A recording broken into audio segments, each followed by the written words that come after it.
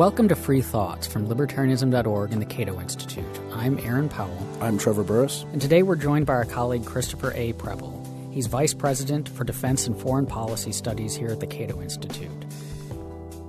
As we sometimes do on Free Thoughts, we'll ask easy or obvious or potentially just dumb questions, um, with the first one being like, what is foreign policy? I mean, we have is it just anything that has to do with other countries? We have trade policy people here, and we have the global liberty and prosperity people. So, what makes right. foreign policy different from what other people are doing?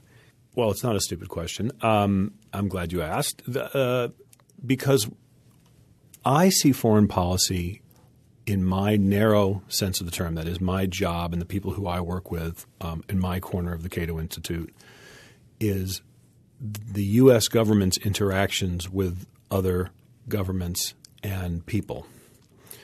And this is crucial because U.S. foreign policy is actually more than that, and that includes trade and international development um, and kind of the spread of ideas that is primarily, and I think many libertarians would agree, should not really be the role of the U.S. government. Right? The U.S. government has certain responsibilities to protect American security, to advance the interests of the country. And so its interactions, its formal interactions with other governments all fall in the realm of foreign policy or diplomacy, right? Diplomacy is another way to describe this.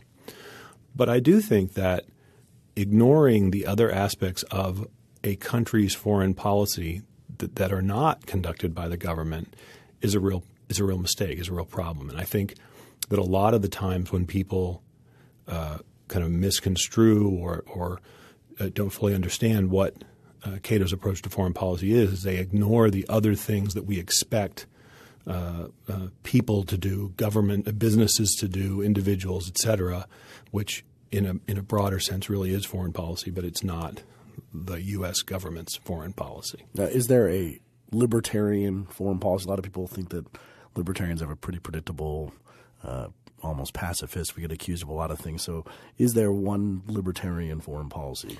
I don't think there is one libertarian foreign policy. I do think that because war is the health of the state, the cliche, because the cliche happens to be true, um, I think that libertarians tend to be more skeptical of warfare than others. Now, you could argue that everyone's skeptical of warfare, or virtually everyone. Um, but I think that there's a pretty clear kind of philosophical, logical train that says libertarians are, are less uh, inclined to go to war because they see the growth of the state during times of war. And uh, others who are not libertarians uh, might share the, the object of kind of peace uh, but they see some of the consolidating effects of war uh, in growing the power of the state as sort of a solitary, salutary sort of by, byproduct. And of course, they would rarely uh, go forward and, and, make a case uh, for war on those terms, but they don't look at the side effects of war uh, in the same way that we do as, as generally a bad thing. Because the, the fact is, the U.S. government or any government grows during wartime and very rarely uh, returns those powers to the states and the people when the war ends. Um, so that's a pretty a pretty common uh, thread that connects libertarian foreign policy over many many years. When you say it grows and doesn't return those powers, what kinds of growth, what kinds of powers are we talking about? Well, just in a very in a very broad sense, the people become um, accustomed to government playing a larger role during wartime, and then sort of accept uh, what would previously have been seen as intrusions or abridgments of their freedom and liberty, uh, and sort of come just sort of become acclimated to it. I think that you mentioned the war is the health of the state, and uh, I think that's an interesting way of, of sort of expounding upon the way we look at foreign policy. What, what do you what, what, does that actually mean? Unpacking the sure. war is the health of the state. Well, well, at its most basic level. Um, states, nation states, governments exist to wage war, or at least to prevent uh, security threats or to, to, reduce security threats. And so, if you go back to the, you know, where governments grew up over in human history, it was a security function above all else. Um, and so, when um, and when they exercise that power, when they are, whether it's a legitimate exercise or whether it's merely sort of for show as, a, as an excuse again to grow their power, um, they get larger. They, uh, they become uh, more capable. They acquire more resources, uh, taxes, and people, and and whatnot. Um, I mean, there are so many serious instances of this. The, the few cases that I like to cite are. Uh, you know the growth of taxation during wartime in the United States. Uh, Milton Friedman uh, uh was responsible for federal income tax withholding when he was working for the federal government in 1942 or 43 um, uh, to make it easier for the federal government to raise money uh, through income taxes, which prior to that time impacted a very small number of Americans. The, there was a federal income, a federal excise tax imposed on long distance telephone calls to pay for the Spanish American War uh, that war uh, lasted about six months. The excise tax lasted about 100 years. so, I mean, and there are many, many other cases. But I do think, and so those individual cases you can cite, and it's sort of a, it's sort of funny. But the bigger picture is is even more important. I mean, Bruce Porter, who wrote, I think, quite a good book called War and the Rise of the State, points out that the non military uh, spending during World War II by the federal government, by the U.S. federal government, rose faster than spending during the New Deal, right? So, so yes, of course, most people focus on the enormous increase in military expenditures that occurred during World War II for obvious reasons, and obviously the federal government as a whole grew much, you know, grew dramatically during those period during those years. Um, but again, we accepted a level of government taxation and spending that that prior to that time would have just been unheard of, and, you know, and uh, except in times of great crisis. And prior to World War II, it would have been the Civil War. We've got a handful of questions about how much we spend on the military and how wasteful some of that spending may be, or much of it may be. But before we get to that, I so the way that libertarians often talk about what the government's up to, that we when we talk about you know this particular program is inefficient or it's not accomplishing what it's setting out to. It's spending more than it should, and for we have a, a, list of reasons why this sort of thing is typical. But it it feels like people on I mean both the left and the right, and just in general in America, talk about the military differently than we talk about other government programs. We treat it as not just that it has a different you know mission than, say, the FDA or the Department of Agriculture, but that at some fundamental level it's just a different thing entirely. Is that true? And does that impact the way that we critique it? Does, is the military open to the same kinds of critiques that libertarians make against other government agencies, other government programs? The military is subject to the same critiques that libertarians make of other government programs, with one crucial exception which is that nearly everyone, including most libertarians, agree that security is an essential function of government. Um, there is no disputing that the powers granted to the federal government uh, are are about you know security is probably the most important of them, and I like to joke that you know in the Constitution I don't have to search very far to find provisions for uh, raising an army, maintaining a navy. I have to search really hard to find the justification for a Department of Agriculture.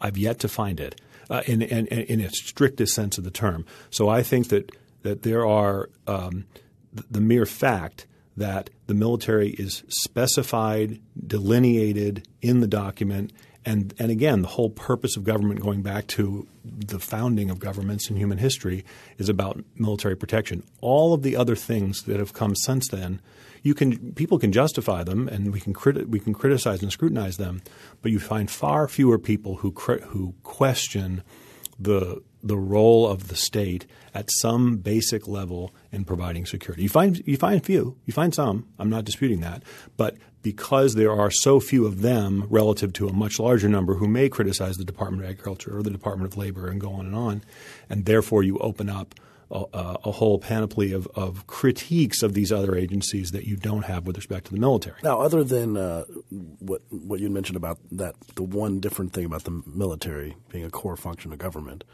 uh, it's it's internally it's a bureaucracy that overspends and has public choice problems and doesn't do things uh, correctly like other bureaucracies. And it's one of these things that it seems that Republicans think that you can, you, the government can't run the healthcare system, but they can set up another country. Right. Correct. But That that's what what I meant in the, the weird, interesting way that we talk about it differently. Because even if we recognize that, you don't hear people refer to people in the military as bureaucrats. You don't, you know, you don't get the like. Well, of course, this particular department has is interested in its own growth, and there's all these incentives, even at the lowest level, to inflate budgets and all that. Like, we don't. We act as if the military is more honorable.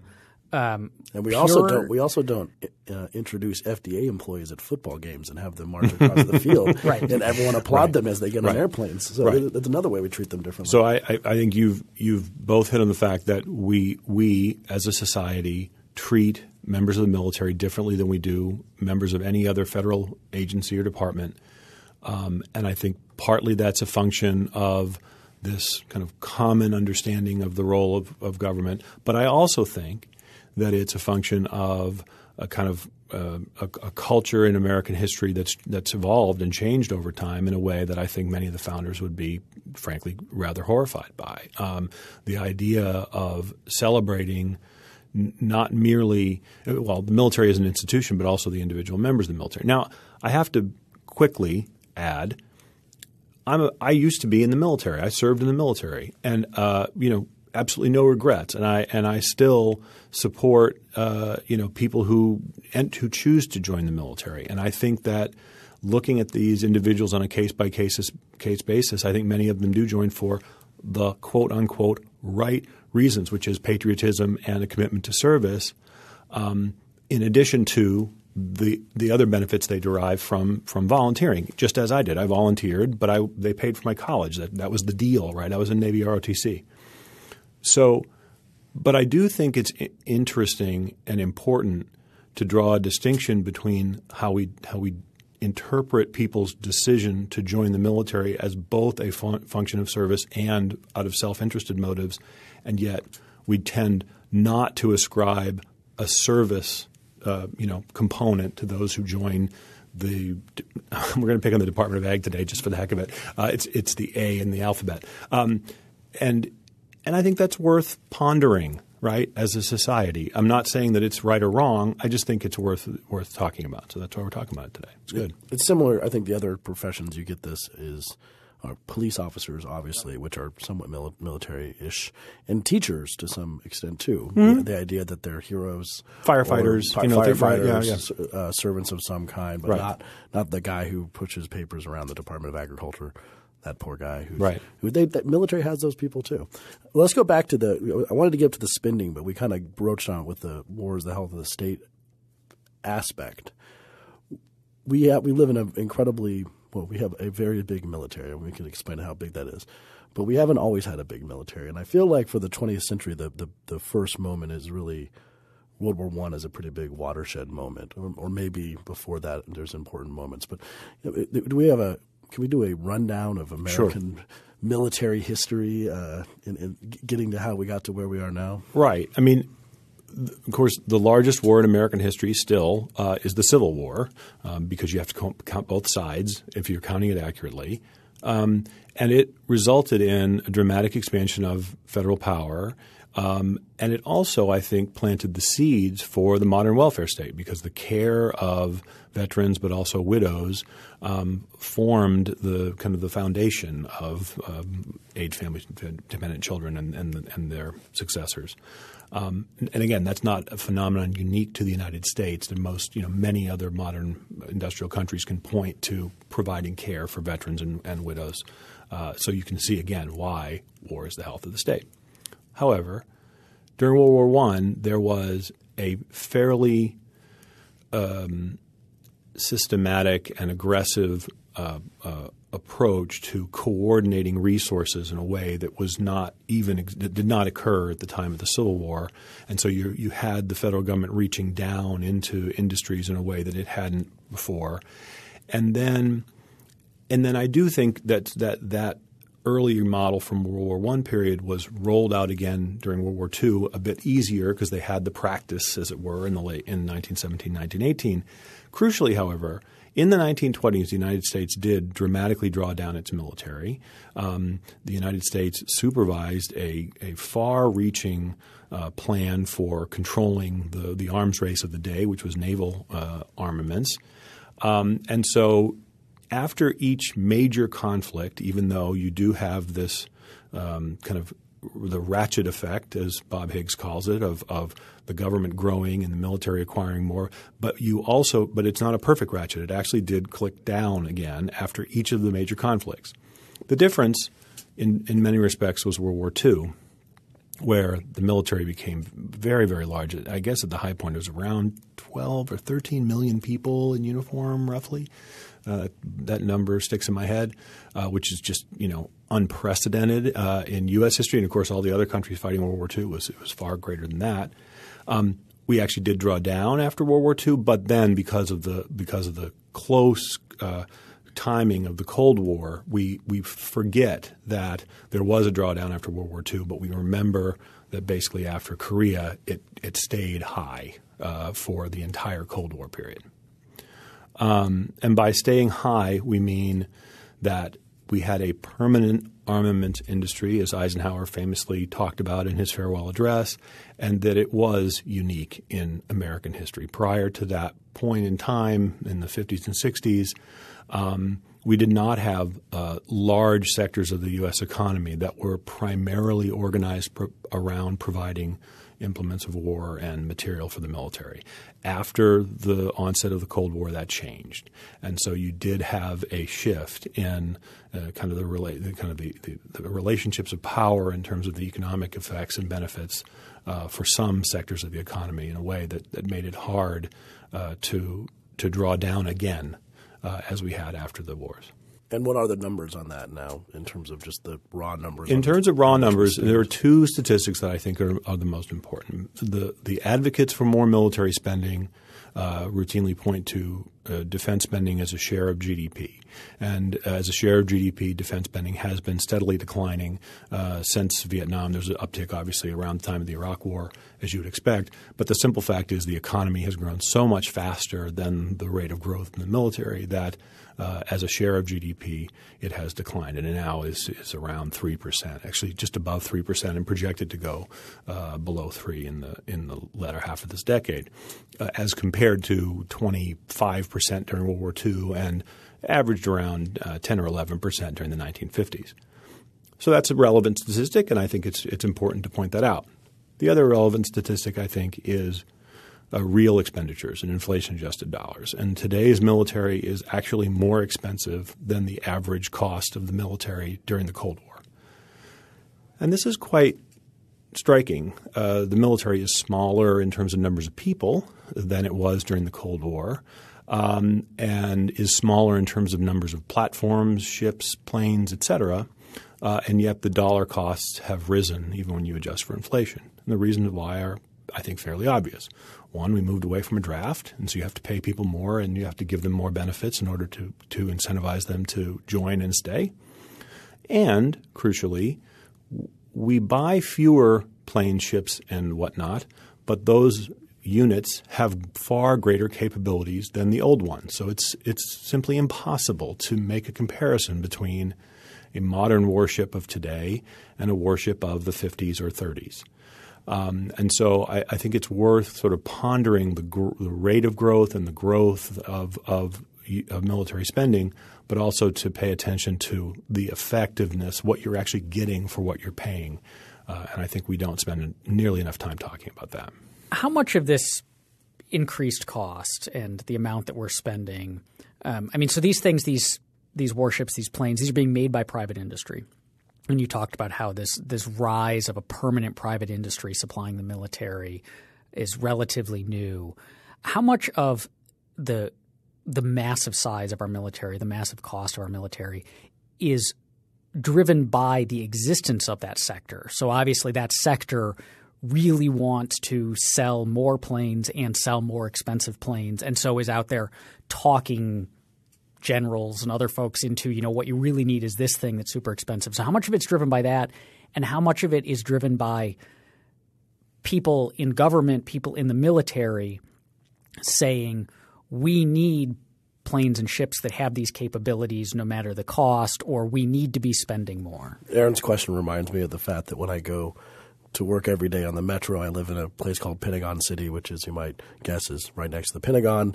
And in the metro, they have ads for F-35s because you might want to take one you might home with take you. one. It's, it's, there's something there's something that says a lot about that. The people walking by, it's like you know Lockheed Martin, like you know, Right. protecting America. I was like, who are they selling this to? Right. But I think well, you that's- see exactly, it registered with you. I, exactly, think exactly. right. Um, the answer, Aaron, is uh, both. Uh, that you have a um, an industry that has grown up around providing for the military, and it has learned certain skills uh, that allow it to continue selling to the U.S. military, and it's gotten very good at it. Uh, and there are a handful of companies that are extraordinarily dependent upon military spending above all else. They do not have, um, you know, an appreciable uh, domestic or commercial segment at all.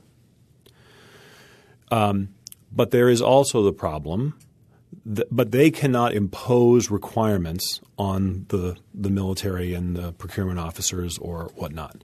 The requirements ultimately are established by um, by civilians, by the by the civilian leadership, and I think this is a crucial question. It's like not what are we asking our you know what is it we ask our military to do? What do we expect it to do?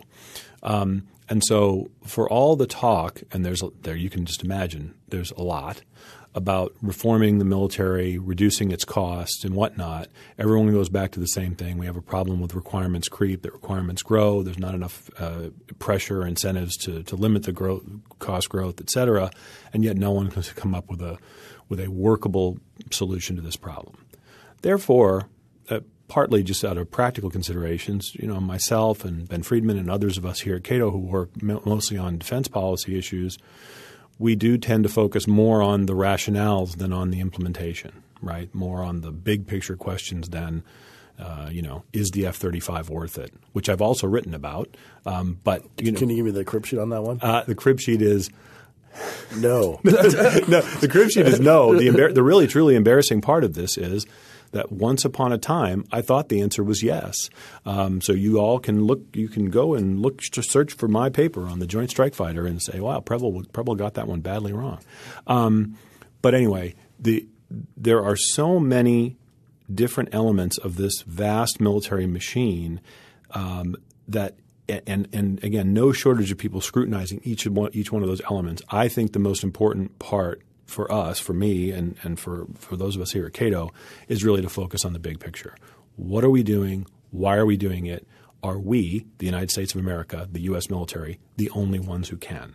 And if you if you explore those much bigger questions, much harder questions, then you actually could generate pretty substantial savings because you're talking about a very very different military than the one we have today. Well, then let's turn to those questions because you, if you listen to politicians talk, and especially politicians on the right, um, you get the sense that okay, so yeah, our, our military is very expensive, it's very large, but we need that because this is a dangerous world.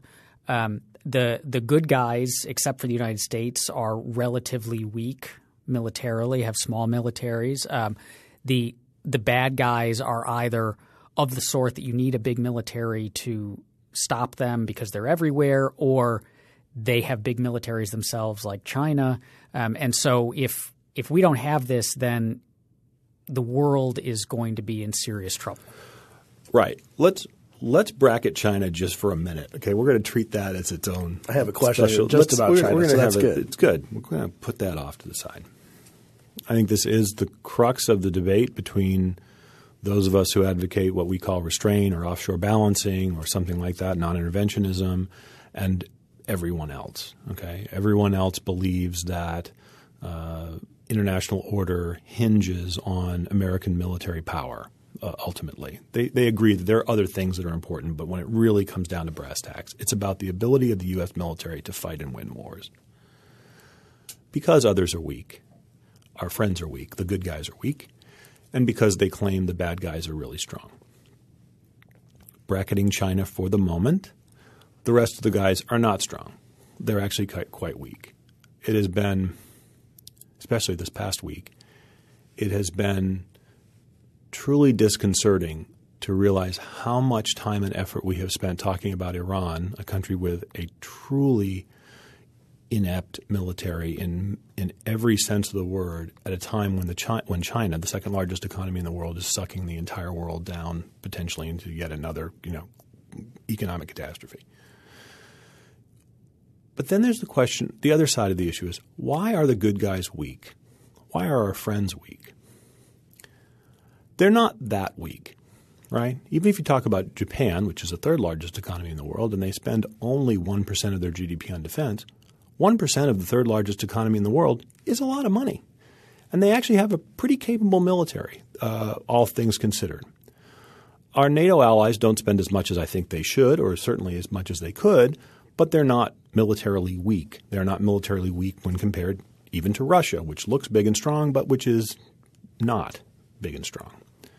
My argument is that to the extent that this, our friends are not particularly strong or, more importantly, not inclined to use their power, it's because we've discouraged them from doing so. And I think that if we thought more seriously about burden shifting, not merely burden sharing, we would see them play a greater role in their respective regions and ultimately be in a stronger position to help us when we need it. Last point on this. When we embarked on this project of discouraging other countries from defending themselves after World War II, I think it made a lot of sense. We were really strong, and they were not. And they were not in a position to stand up to the Soviet Union and not long afterwards, uh, the People's Republic of China. But now they're rich, and they are certainly capable of standing up to these countries, especially collectively, not one by one, all you know, each on their own. And so I think we're in a different time today than we were certainly 25 years ago at the end of the Cold War uh, or 50 years ago. Um, and yet we haven't revisited this basic bargain. The basic bargain being we agree to defend them, they agree to let us. And if I were in their position, I'd do exactly the same thing. Should we be afraid of a more militarized world, a more equitably militarized world, uh, creating a World War One type situation? I mean, should we be afraid of a militarized Germany, or, we, or, or is the codependency in trade and economically just too big right now? I certainly believe that the codependency in trade and other factors is uh, greater today than it was even at the time of World War One. People pointed out at the time of World War One, the two leading trading countries were Germany and, and the UK. Great Britain. And so uh, trade did not prevent them from going to war with one another. And so you can certainly overdo the argument that economic interdependence prevents war. Uh, but I do think that the costs of going to war have risen dramatically in large measure because of economic interdependence and other things like nuclear weapons, which we shouldn't look past. The other factor which didn't exist at the time of World War I, or even uh, certainly at, at, the time of World War I, is people just didn't appreciate the just how horrific war actually was. They'd sort of forgotten. They had fought some cheap, short wars in the in the 1870s and 1880s, and they sort of forgot just how Franco, bad the Franco right. It, it just lasted a couple of weeks, and people were like, oh, well, this is this is a piece of cake. Um, and and so just the the collective experience of war, especially in Europe and Asia, was so uh, devastating that I think it raised the cost. People kind of acquired a new appreciation for the cost of going to war, which seemed on the surface that could not possibly outweigh whatever benefits they would derive. And then you add to that nuclear weapons, which is you know you know turns it up to eleven. Um, so the, the bottom line is, I don't fear arms races in the same way that I would have in an earlier era. Um, but I also think that some measure of self defense and, uh, is more credible over time than a single country pledging to defend every country forever. Again, it was a, I think it was a perfectly reasonable argument to make in the in the 50s and 60s, uh, but it becomes harder and harder to sustain over time. To think that the American people will treat an attack on Poland, no disrespect to my Polish friends, as the same way they would to Portland, where I grew up. Right? I mean, these are it's it's harder and harder to believe that Americans will treat that. And I think it's harder and harder to believe that Poles will believe that Americans will treat it that way. And I think that drives in the direction of more self reliance, more self help. Uh, which is one of the classic uh, kind of realist uh, components of realist thinking in international relations. Uh, your point about forgetting the destruction of war is fascinating to me because I've I noticed a trend in studying history that uh, at the beginning of many wars, people think that a it's going to be easy, and b possibly even fun. Uh, that was definitely World War One, kind of like you know, the British is like, oh, let's go off to the continent, give Jerry a drumming, and we'll be home by Christmas, kind of or thing. Camping out on the hills to watch to watch the War Manassas, right. or uh, or even Iraq. I, mean, mm-hmm. That's uh, I think probably Vietnam, and maybe that's a, a theme we can talk about. That especially with a, with our vision of our own military might, that any war we should be able to win with one arm tied behind our back to the point that we're literally watching the bombing of a city on the news and like enjoying ours. I mean, this is pretty depraved type. It's a spectator sport. It's become a spectator sport because so few people, so few Americans are affected by it directly. So yeah, and, and so we can push buttons and military action is we have fewer casualties here because we're killing people with lasers or whatever. not not yet. Not yet. That's coming. Soon enough. And then we're and then we're watching right. these things on, t- and we're all thinking it's easy. And this seems like a very dangerous mindset, and and one that's historically has a long historic history to it. Yes, and so the the wars on the surface they get easier because of technology, but then when they're actually fought, and the, you know, we're reminded that war at the end of the day is about killing people and breaking things um, and uh, to achieve to achieve victory, to achieve a political end. Um, and I do think uh, I, I, think it's worth pondering the kind of technological uh, advances in, in unmanned vehicles like drones and, and things like that. Um, which further reduce the likelihood of Americans being killed, not just American citizens, because they're virtually never subject to, to harm during warfare, but even not, not risking the lives of, of American pilots any longer. Um, and so, if war becomes too easy, we don't talk about it enough. Um, then I think that um, is worth again. It's worth pondering. It doesn't say that it's never right, uh, but I do think we have a we have a, a, a, challenge in in that so few people are directly affected by the wars we wage. I have a good trivia question for you, then, and also for listeners. Who was the last person to invade the United States? Pancho Villa. Pancho Villa. oh, that's, that is good. The, yeah, that's I was very good. That's yes. very good. I always, I always tell that People story. remember who that one is. How do we counter that then? Because, I mean, so the obvious one would be, well, then let's start sending ordinary Americans off to witness right. wars, but that right. doesn't seem like a terribly good idea. And we probably don't want to roll back the technology that allows us to fight wars with fewer casualties to Americans. So, right. is there a way to this? Because it does seem like there's this Tension. American cultural trend of – like to a troubling degree, a lot of Americans seem to think violence is awesome, um, and that it's it's fun, and that you know we we see this in the issues around policing too, mm-hmm. like the busting heads is cool, and um, and we the way we glorify the military and the excitement we get at watching the bombing campaigns on the news does seem profoundly troubling, and it allows people to like really militaristic candidates to stir up support by basically promising to go to war. Um, so how do we how do we fight that in a non-destructive way? Well, I do think we, we shouldn't look past the the impact of the wars in Iraq and Afghanistan on American public sentiments because I think that, that that unlike the first Gulf War, where people thought that every war is going to be like the first Gulf War, which lasts you know a couple weeks or a couple hours depending upon how you count it. Um, Iraq and Afghanistan have reminded us that wars are really hard. Winning decisively is really hard, even against small, weak countries like Iraq and Afghanistan.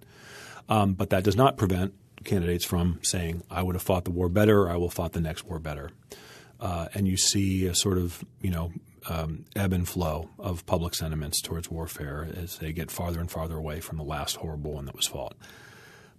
But ultimately, I think the answer is much greater discipline on the part of our leaders, and that's not a very satisfying answer because it really does hinge on a, on a, a, fairly small number of people acting in a responsible way. Because the simple fact is that foreign policy is not particularly salient to most Americans. It is not a very high priority for them, and therefore they're not going to hold politicians to account, um, uh, you know, at, at, the ballot box, um, except in very rare instances. Um, but uh, because we're entrusting uh, a small number of men and women with enormous power, I think there is a great responsibility for them to wield it in a responsible way.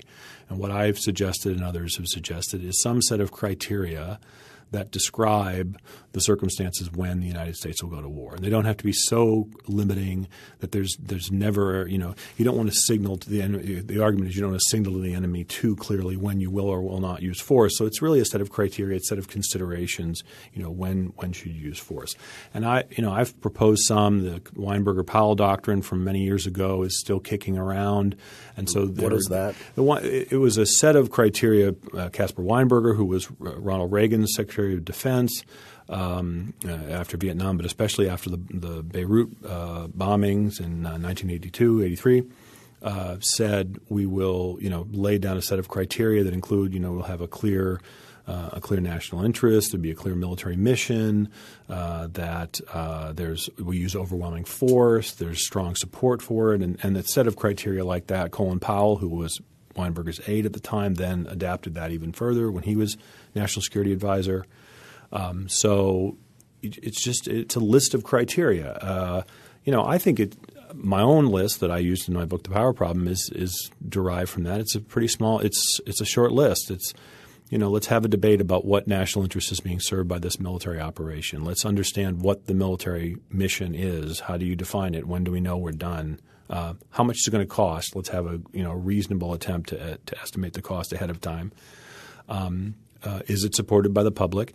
And and this is a rather banal point, but I but I'll make it is that just because we have the ability to wage war anytime at any place doesn't mean we should. And so you really should you know again go the extra mile to ensure that it's the last resort that you have exhausted all other means. Um, and you know, I think my criteria are fairly stringent, but I've heard more stringent, and so let's ha- let's let's talk about that. But right now, I mean, candidly, there is no criteria. And what that means is because we have so much power and because we know that, that there will be very little uh, accountability back here at home if something goes horribly wrong seven or 8,000 miles away, um, we sort of kind of meander from from intervention to intervention, and, and it's not clear after the fact, you know, why did we intervene there but not over over here? Uh, and I think it, it's created just a sense of confusion around the world, not really knowing if if if, the, if it's true, if the other side is correct, that international security hinges on on the exercise of U.S. power, then then that's a real problem. I say we have a single point of failure. This is not a resilient system. This is too heavily dependent upon one country that is um, unpredictable. Uh, and and I think that's why ultimately we're trying to trying to fashion an international order that was somewhat less dependent upon international U.S. military power is, is the ultimate object of, of, my foreign policy and that of my colleagues. You you mentioned the word previously a few minutes ago, non-intervention, and and we have a question on here, non-intervention, and then of course the word isolationism. Um, you kind of described what your foreign policy is, but would would any of those words apply, or, especially the word isolationism, which is I think mostly an epithet? But what do you, what do you usually hear when you when someone says isolationist? When I hear the word isolationist, it is an epithet. It's a, it's a word that's used to shut down consideration of alternatives.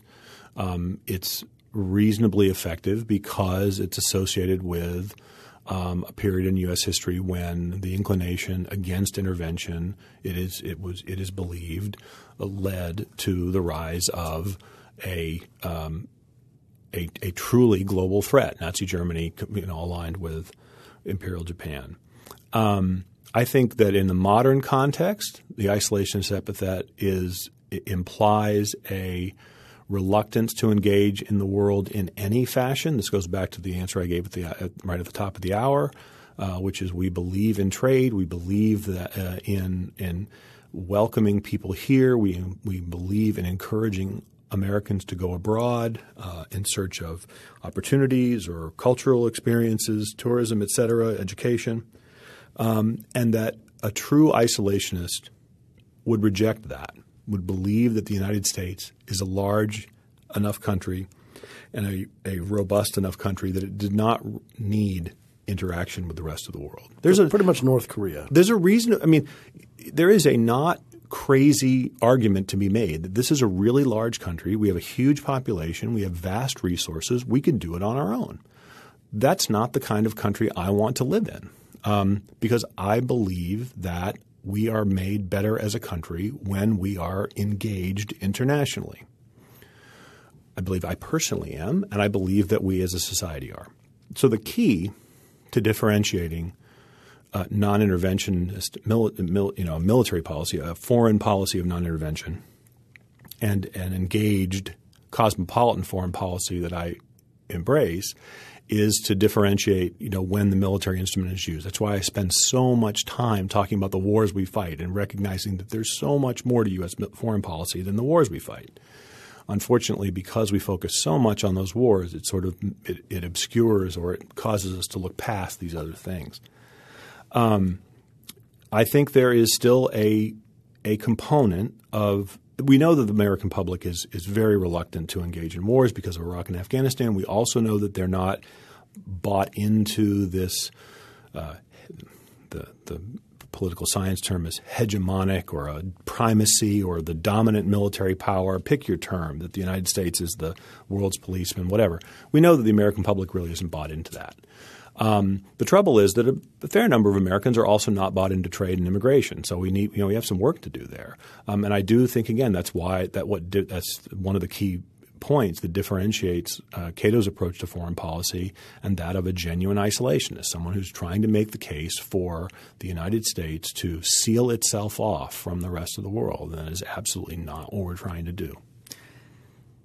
Listening to the debate inside the Beltway, um, where we unfortunately, I guess, are having this conversation, um, yours is we'll call it a minority position. It feels like, um, and and there's this this strong sense that when we talk about a candidate who's serious about foreign policy issues or or the serious people having these discussions, what that tends to mean is something that looks much more militaristic than what you're articulating. That it's a a willingness to use violence is simply what it means to be serious about something.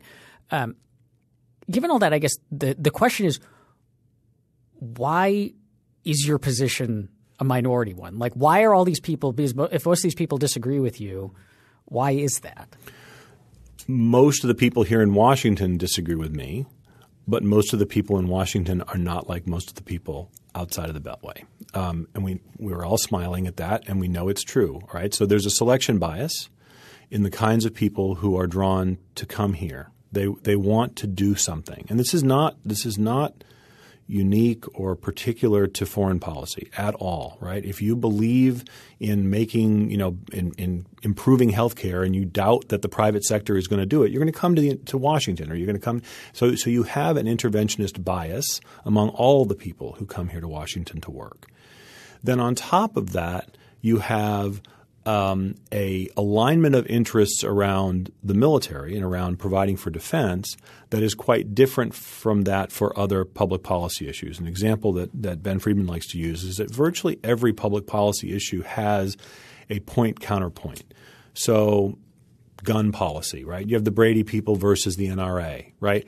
Or you know uh, regulations governing smoking in restaurants. You have public health advocates versus bar owners, right? So virtually every domestic public policy issue we debate has competing interests that, that fight really quite vehemently because they're defending a principle that they believe in very much or that they're harmed by economically.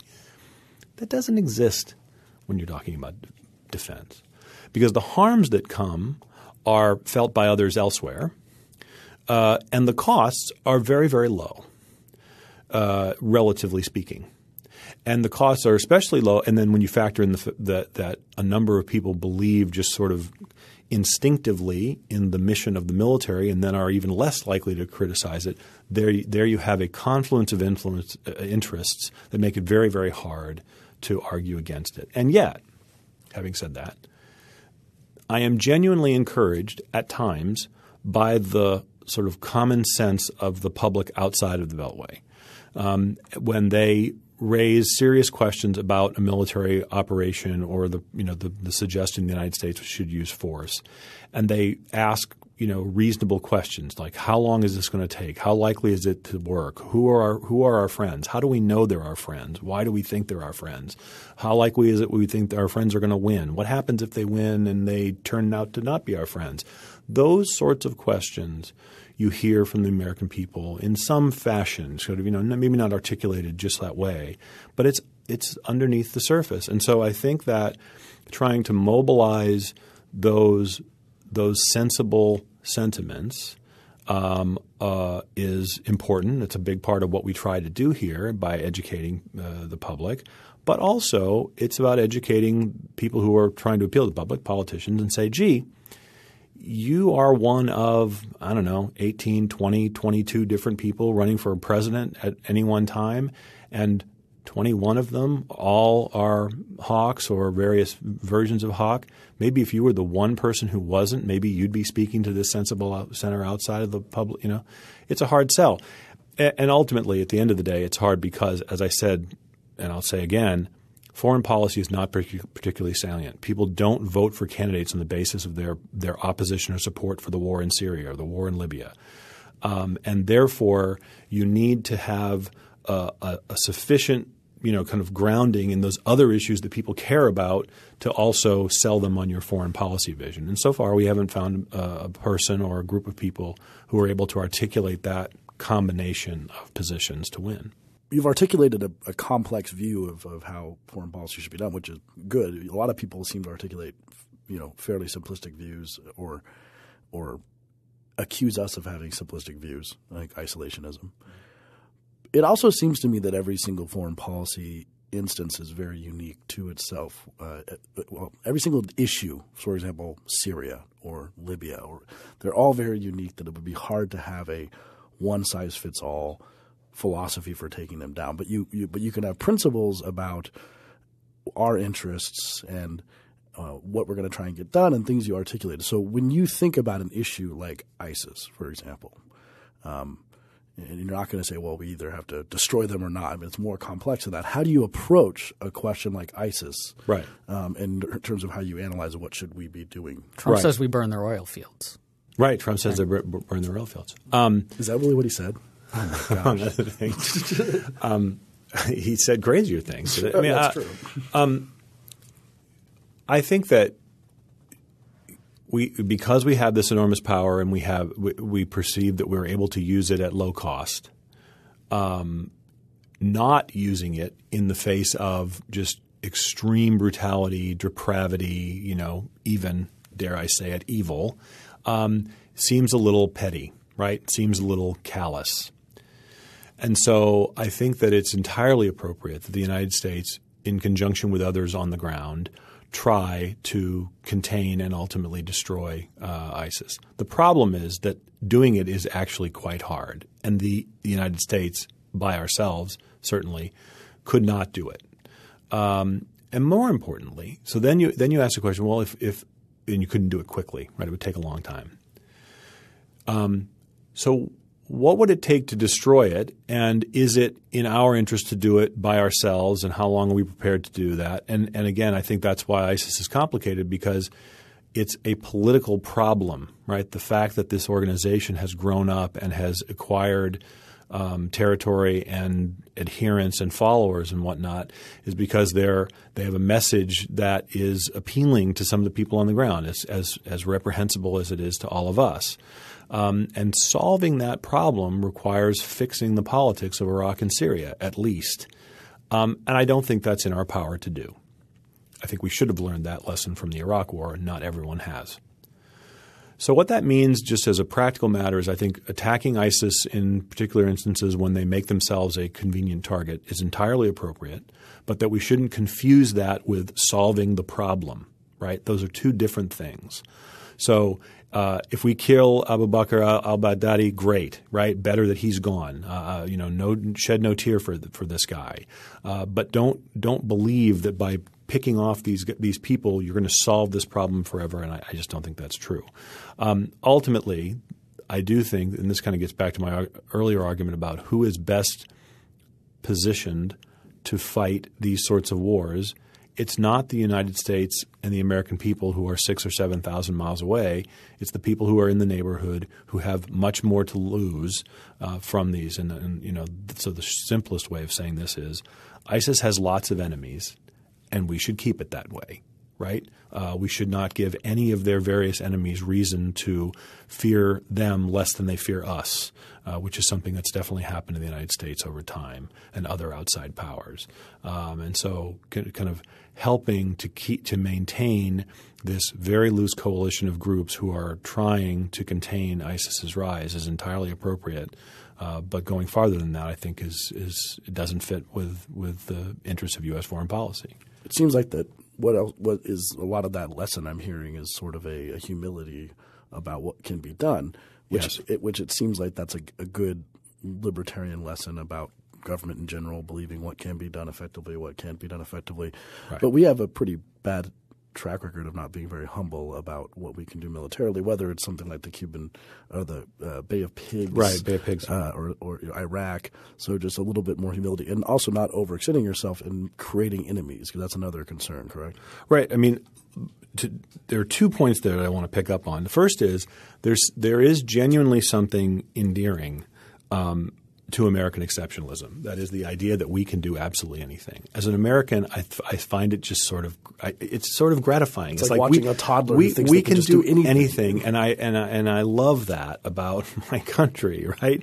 But even though then, we're really wrong about I, that, even though sometimes we are really wrong about that, and so there, so kind of uh, appreciating this can-do spirit uh, while at the same time saying, okay, it's great that you have this sense that you can do absolutely anything.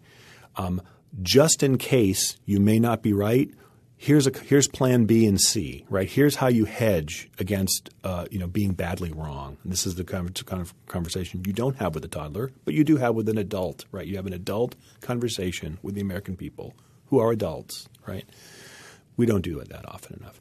The other point you, you mentioned, which which is even which is related, but it, but is that there are there are definitely instances in which uh, the U.S. the conduct of U.S. foreign policy um, has created uh, has created enemies or created people who who resent us, right?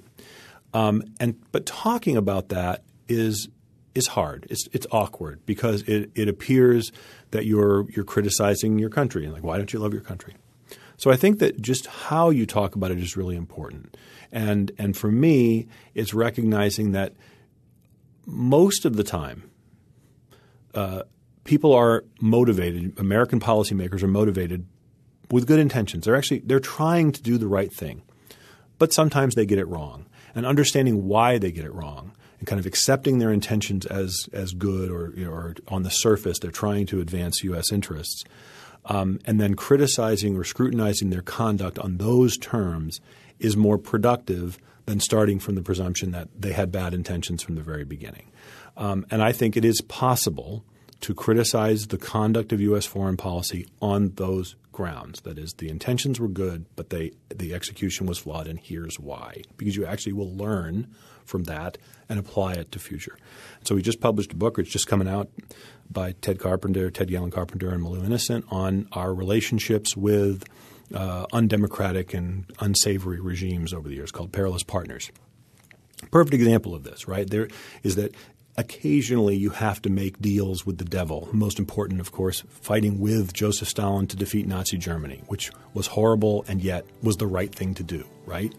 Um, because Joseph Stalin was was a horrible guy, but you know, pick your poison. Um, and yet, not every autocratic ruler that we we, we ally with fits that category. That, and so, therefore, kind of being much more discerning in terms of when we engage with these undemocratic uh, r- r- rulers, corrupt rulers. Uh, that's something we need to we need to get better at uh, as a country. Free Thoughts is produced by Evan Banks and Mark McDaniel. To learn more about libertarianism and the ideas that influence it, visit us on the web at www.libertarianism.org.